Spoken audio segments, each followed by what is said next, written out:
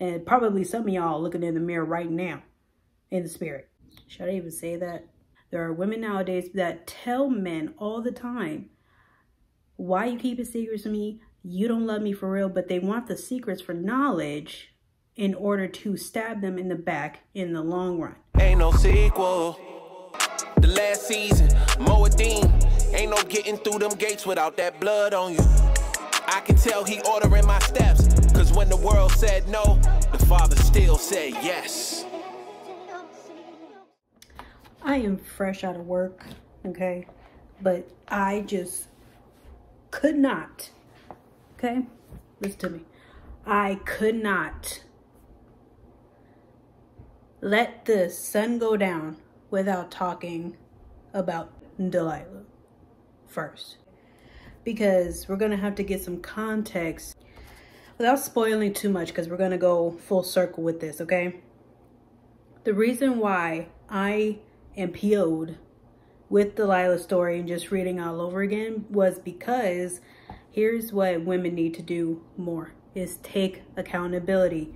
No, I do not do this anymore, but I, when I was reading the story, I felt like I was looking in the mirror, and I will tell you why later. Okay, just got the one version now. We're gonna go and start with Samson's story. It all starts in Judges 13. Samson is the son of Manoah, Manoah's wife, which is the parents of Samson. Her name wasn't disclosed. But anyway, an angel of God came to her and said, you're going to bear a child because her womb was also closed and that he would be a Nazarite, okay? So just paraphrasing the term of a Nazarite is a person who is consecrated to the service of God, meaning they grow their hair out, they don't drink, they don't partake in certain things, right? And you can go into Numbers 6 for the full context of what you need to do to be a Nazarite. Now, mind you, people have a back and forth type of thing, whether it's, you know, chosen and anointed, or if somebody can just generally do it if they have the want and the desire and the discipline too. Okay. Use your own discernment when it comes to that. She was also told that he would deliver Israel out of the land of the Philistines or the Philistines rulership. God is going to say something or send an angel to indicate that this person is going to do this, that, and the third. Doesn't say how most times, so that's when you see the story unfold. And this is what happened with Samson and, ooh, crazy Delilah. Side note, sorry if you hear stomping. I'm sorry if you hear the refrigerator. I'm sorry, I'm in the living room okay? I'm sorry if the acoustics are completely different. My apologies with the echo. With some time, because, you know, just thinking about context from Judges 13 to 14, Samson is now old enough to take on a wife, which he does, and it's a Philistine. She gets told from the Philistines to entice Samson to answer some type of riddle and only he knows, okay? So after some time and so forth, it gets to the point where he eventually tells her and God sends down the wrath. Judges 15, we're to jump forward because I want to get to the Delilah part. Judges 15. Samson tries to get his wife back, which results in the wife and the father to perish. He got arrested and it was just a vengeful slaughter from there.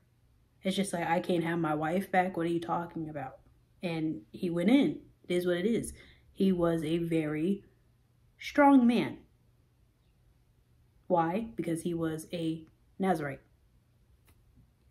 There's a certain power in which that, you know, a lot of people say it's just the hair, you know, that's where the strength came from. Yes, that is true. However, there are other disciplinary things that a Nazarite does in order to gain certain strength. Now, mind you, the strength comes from God. No doubt about that. Okay? Because the way in which he went out, that's only God doing. So some more time must have passed by. And now we're in Judges 16. This is how Delilah enters Samson's life. Samson is in, should I even say that term? Is in the land that rhymes with huzzah. Okay? Because I don't even know if I can say that term on this platform. So the land of that rhymes with huzzah. And he goes into a woman, and that woman is Delilah. He loved her, right? This is what makes me mad. It's the part of the transactions that happened with Samson and the Philistines. It's like they had a beef from the beginning. Okay, now Samson, what was told to him or what was told on his life that he would be a person that helped Israel. Sorry for the barking. Not only that, it was two occasions in which Samson was going ham on people, you know, and he used even a jawbone to even more. You know? It's just like, who would think of that as a weapon? You know what I mean? But anyway, after that, he was a judge for 20 years, and this is when the situation happened with Delilah. The Philistines tell Delilah, entice him, and we'll give you some money to find out where his strength comes from. So over some time, she, in a way, and this is where the accountability starts within myself, and I know other women still do this to this day. This is why I wanted to bring this particular story up. You have to take accountability for what is in this word, look in the mirror, and atone for it and repent for it. Please do so because if you don't, you you in transgression and you in sin, and it is what it is. This is why she, and this is for me when I started looking in the mirror because even though it's not the same context in which she did it for and as opposed to what I did it for, it was the fact that she was saying that he didn't love her the way that he said that he did and so forth. Because if he loved her the way he said he does. You just got to tell me what causes your strength and so forth. Like, why are you so strong? You don't love me if you don't tell me. Why you keeping secrets from me? Type thing. If you have not heard that from a woman before, and if you have not been a woman that has done that before, I'm talking about in the world, and once you repent, you know, that's not a thing anymore. I'm just saying there are women nowadays that tell men all the time why you keep it secrets from me? You don't love me for real, but they want the secrets for knowledge in order to stab them in the back in the long run. Now, for me, it was for trying to help my significant other. It was trying to get to a point of clarity with the secrets and, you know, people not disclosing certain things and so forth. That would make me so it's and to me it equated to you don't love me because why are we going through such trial and tribulation and you're not opening up to me? You don't love me. Okay? I was a woman. I was. Okay? And it took three plus years. Okay? To get to a certain point where I was just like, okay, well, I'm giving myself too soon of a thing. Four years, I gotta say. Took me four years to get that and to truly look at myself and be like, no, that, you know, that's not okay. You know what I'm saying? So that's the first point. Keeps happening.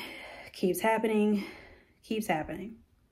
And she keeps putting up snares. And that's the thing that makes me mad. Why do you have to put up snares to try and get somebody to say something to you? And this is where women use setups. And if you don't know what a setup is, look it up.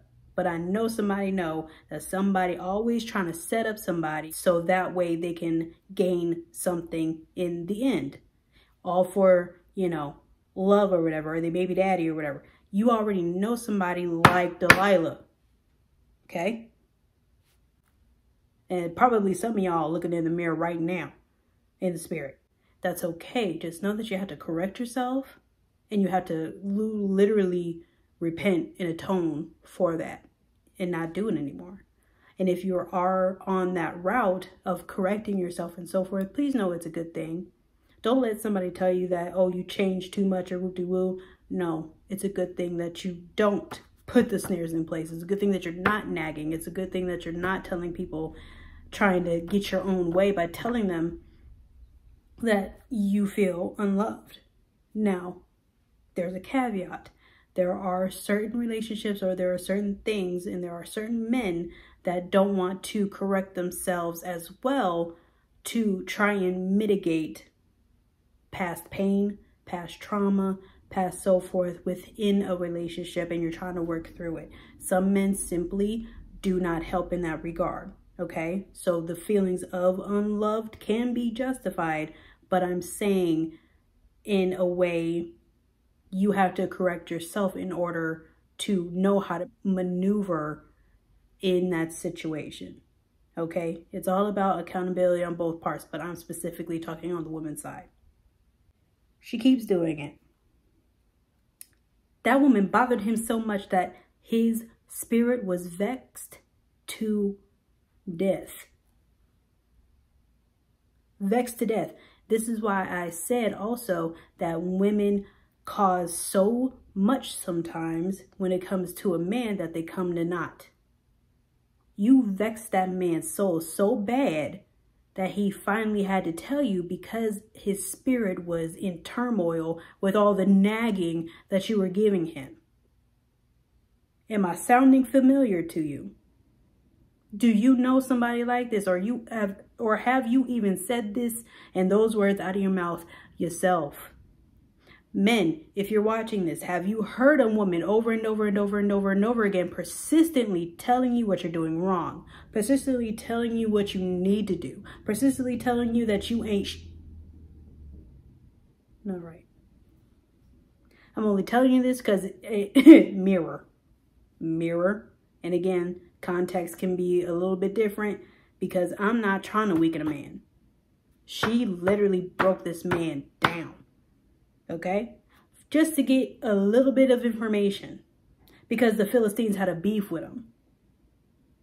There wasn't even really a true reason. And on top of that, he loved her. That's the thing that makes it, he loved her. It wasn't like a thing. It wasn't just like a side piece when I stand, whatever may have you. He was rocking with her. He was trying, you know? so this led to him telling where, how, all the things when it comes to his strength. So she sent a man. Now I know, which is why I included it in the thumbnail. This is why I include the scissors. But actually, just as a matter of fact of scripture, that she, meaning Delilah, sent a man to shave Samson's head. It wasn't her like cutting, you know what I mean? The hair or whatever. It, she sent a man over. Okay. And then she started to torment him again, saying, you know, they're outside, blah, blah, blah, type thing. She's the reason why his strength left and why God separated from him. And you know that too. You know somebody that was probably on the righteous end of things, that was trying to live a right life. I'm talking about a man. trying, actively trying to find love, to do something. You know, even the dude, can I get a hug type dudes. Okay? Now, for me, Even though it's just like, give me a hug type of dude. To me, the give me a hug type of dude is low key, you know, very, in a way, very tough. In the Samson type of way, okay? It's just like you have that stigma about men that just doesn't make sense because why wouldn't you want a good man? Why wouldn't you want somebody that's trying? Why wouldn't you want somebody that is trying to be on the narrow path? But little did the Philistines and Delilah know. Okay, you a paid actor, low key Delilah, a little charade to play with Samson's feelings because he loved you, and then you set him up. Please tell me you don't know somebody like that. Then after that, with his strength being gone, his eyes gets gouged out. Mind you, there is nothing contextually that's saying that Delilah was remorseful, that Delilah, you know, felt bad, that Delilah this, that, and the third as a repercussion. None of that. So it's just easy to assume that she didn't give from the beginning. She did not care. And that's messed up because a lot of women don't take that accountability and they just think they can keep prodding and prodding the bear. They think they can keep poking the bear. They keep thinking that they can just do whatever they want without accountable actions. No. One day your ass gonna get got, period. If you don't repent and atone and change. Do a 180 because if you not, God's wrath gonna be on you. And nobody wants that. And if somebody's just willing and being naive and like okay with it, then more power to you. I will pray for you. He gonna go out with a blaze of glory because little did, like I said, the Philistines and Delilah know his hair is growing back. I have known men, especially with beards, their hair, you know, especially if they get a fade or whatever, it grows back relatively quickly within a week two weeks. Okay. So that power can easily come back over time. Okay. Again, I'm not saying that the hair specifically in this case was the only reason why he had strength. Okay. Just look at it. You got to read it for yourself to understand and do more research when it comes to being a Nazarite. He had one last task, and this is where he strengthened Israel. And he was going to be the person at the time for Israel. About 3,000 people in a temple in which he was taken to captive, imprisoned, shackled up, bound up. Mind you, eyes is out, gouged out. What? You mean to tell me you're gonna blind me, you're gonna weaken me, you're gonna blind me, and then you're gonna bound me? You know how many people over a woman are incarcerated right now? Do you know how many people over a woman over a DV situation or a setup are sitting in jail right now,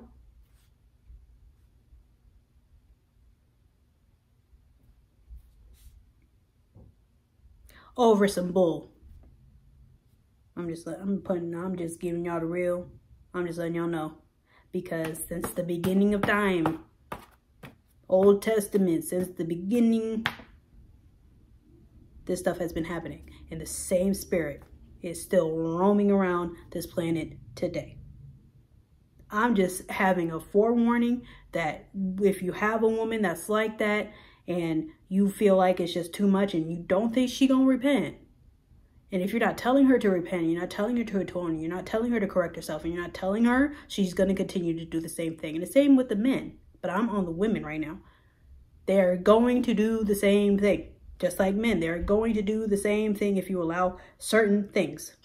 Period. It is what it is. Because there is a certain thing that you can hold fast to and you could believe and so forth, but you have to change together. You have to repent together. You have to be on the road together.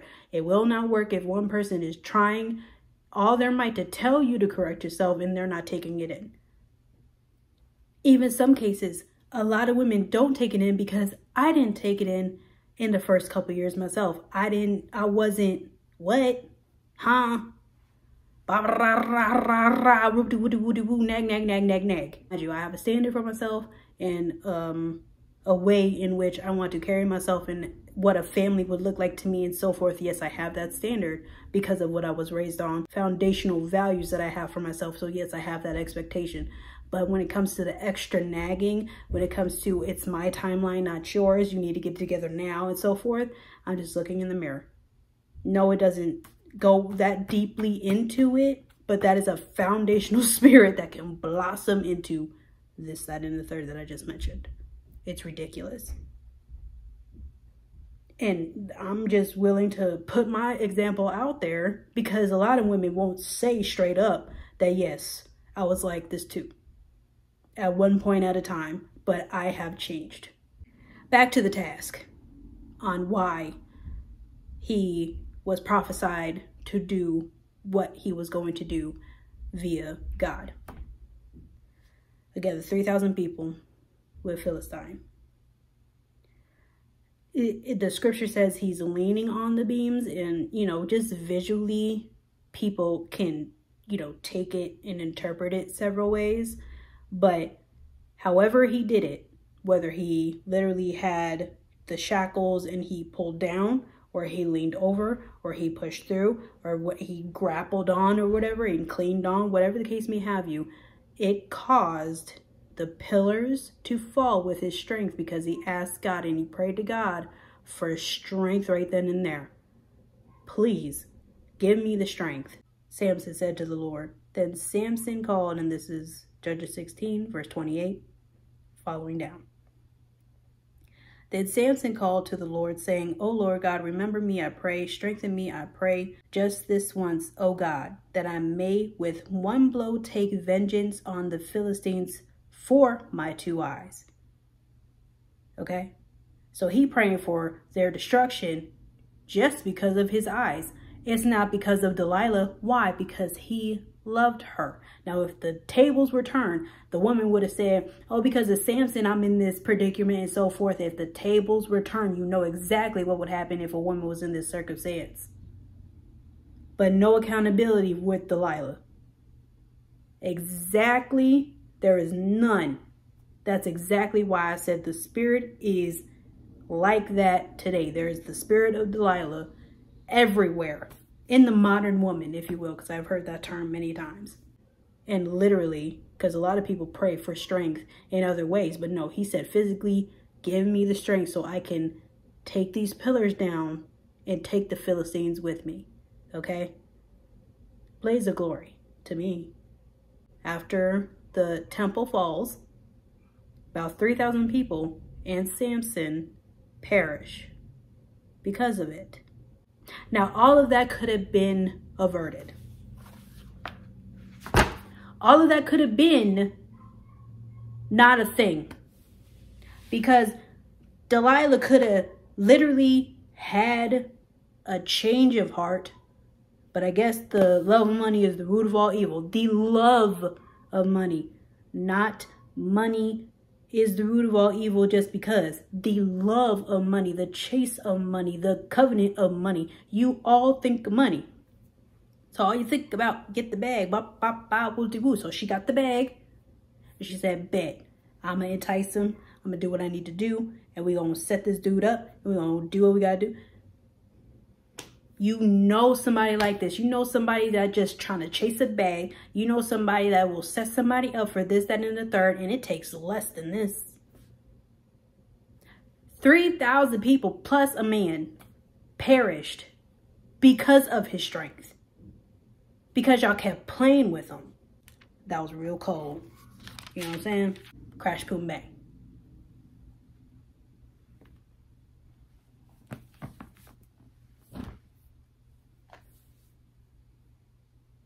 Now, that was a lot. The reason why I pause is because I need y'all to understand the gravity of this and the seriousness of this. Why is that okay? Why is that continuing to be okay when it comes to the modern woman? I'll wait because I really want to answer. Because this is the prime example as to why a man gets messed up and a man gets set up and a man can't do stuff no more and he comes to withering away because a woman just keeps on his neck. Now, mind you, okay, there are women that are doing that because of correction, because of love, because they're trying, and because of this and the third. But there is a way you got to do it. This was on the left hand side. This was so unrighteous to me. This was so bothersome to me. And when I had to look in the mirror, I was like, ooh, this is, ooh, I did this for years. Ooh, I did it for consistently and I was not tired. So I'm telling people, if you notice this about a woman that you're seeing or a woman that you're caring for, or if you're a woman and you're starting to notice things about yourself in which I just indicated, please know you have the chance to do an 180. And I'm not saying it's an instantaneous thing, but you literally have to every day pull that out of you. You have to every day cleanse yourself out of it. You have to every day atone for it until you actually start to see the action in which you're not having that spirit on you anymore. And these are heavy spirits. As I keep telling you, okay, since the beginning of time, and time's been here for a little while, okay? So when I say that the beginning of time, that spirit is on you, that is a very hard spirit to battle. You have to find a system, and the system is in here on how to correctly do that. I don't know if I have that bandwidth to go into depth about it. Like the video if you guys want me to. All I know is you have to be real disciplined. And this is not a just believe on Christ and have the faith. It is way more than that. These spirits is on you and you got to fix yourself. You got to do a complete complete renovation within yourself and your soul. Because luckily for me, I had somebody that cares for my soul.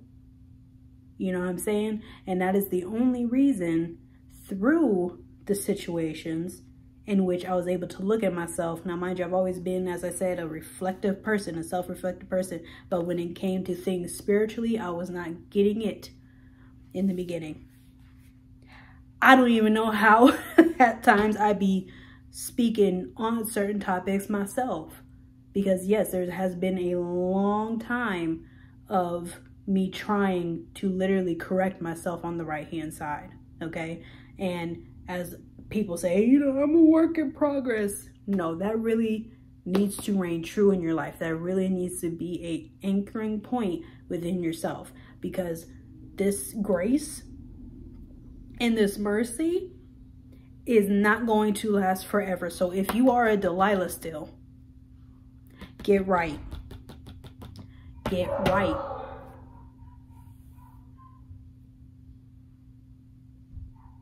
Even the dogs agree with me. Get right. Woo-wee. And I was trying to do a two-parter. But apparently, I can't do that. So I'm going to see you in part three when I wrap this whole thing up because with this part two, it was about a power play with Delilah.